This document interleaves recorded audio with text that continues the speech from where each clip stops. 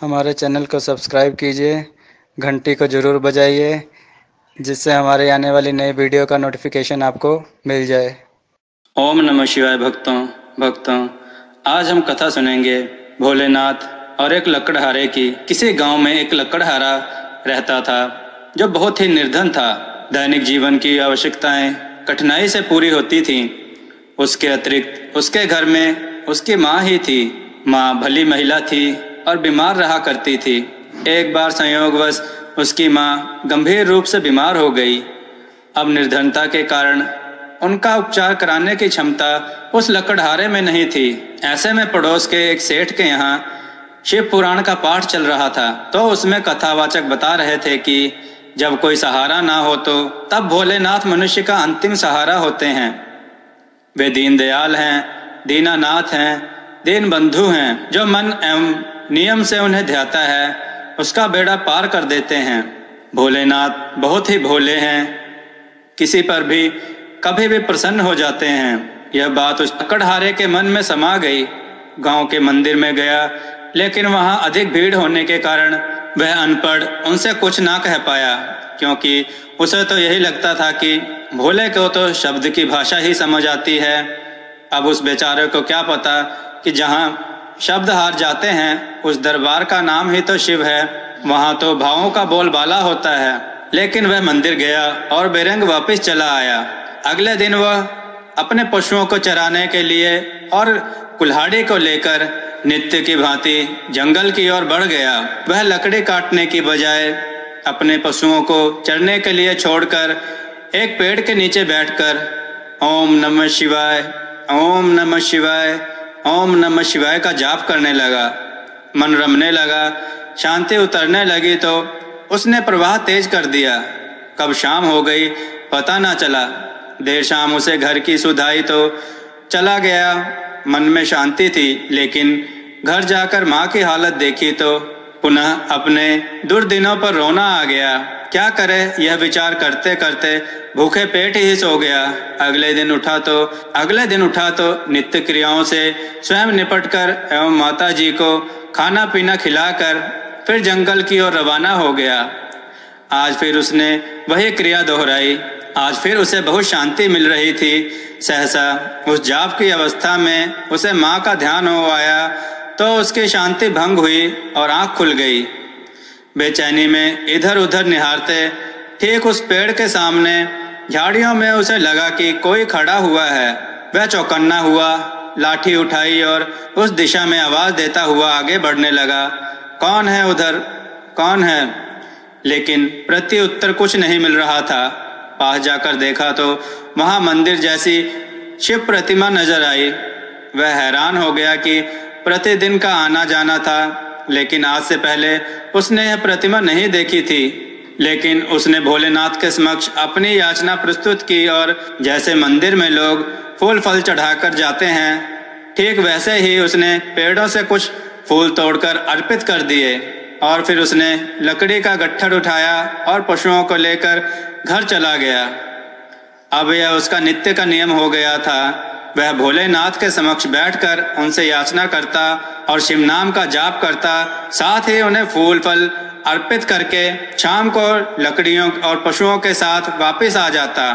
कुछ दिनों बाद उसकी बीमार माँ चल बसी और जाते जाते उसकी माँ ने उससे कहा कि, बेटा, मेरी अंतिम क्रिया करने के बाद अंदर घर की पूर्व दिशा वाली अलमारी को तोड़ देना। लेकिन अपने दुख में वह सब कुछ भूल गया और जैसे तैसे उसने माँ का अंतिम संस्कार किया।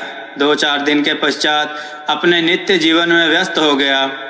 पशुओं में बेचैनी देखकर उसे ध्यान आया कि इनकी बेकदरी हो गई, सो उसने ठाना कि इन्हें जंगल में फिर से घुमाना शुरू करेंगे। अगली सुबह वह कुल्हाड़ी और पशुओं को लेकर जंगल की ओर चल दिया। जंगल में पहुंचकर उसने वह शिव प्रतिमा को देखकर भड़क उठा। उनके सामने जाकर बोला कि, तू सबका बेड़ा पार करता है, लेकिन तूने मुझ निर्धन के साथ यह अच्छा ना किया। तू अमीरों का और ऊँची जाति वालों का ही भगवान हो सकता है, मेरा नहीं।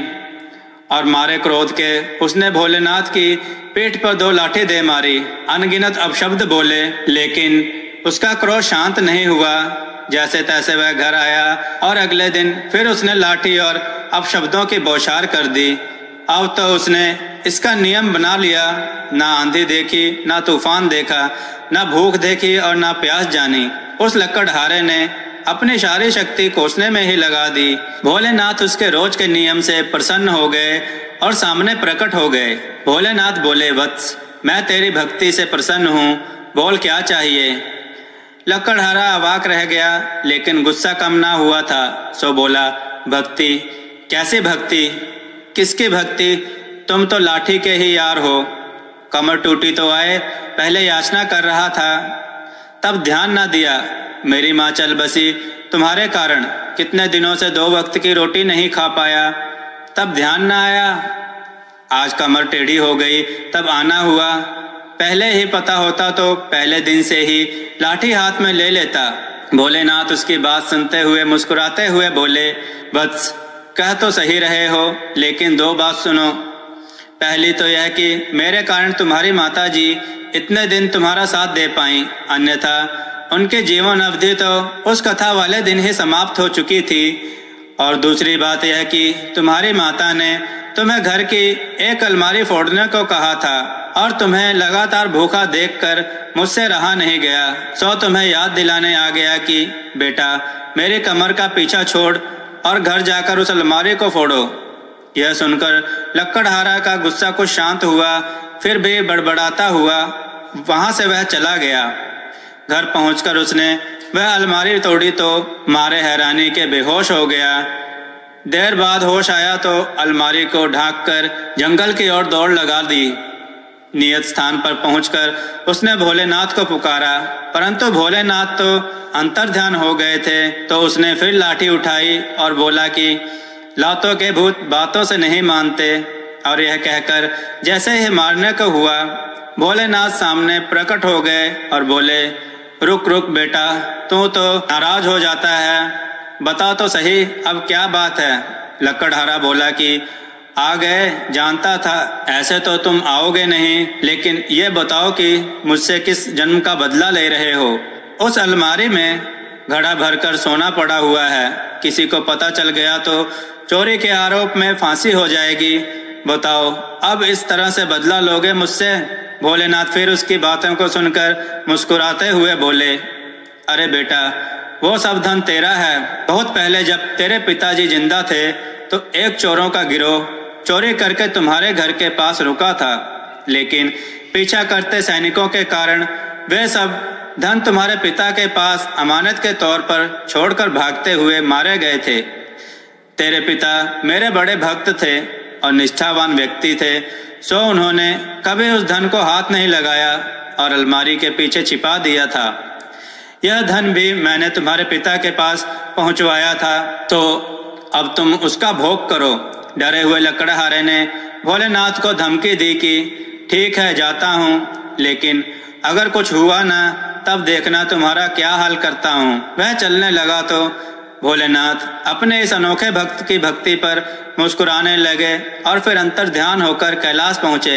यह सब लीला देखकर माता पार्वती भोलेनाथ को छेड़ने लगी।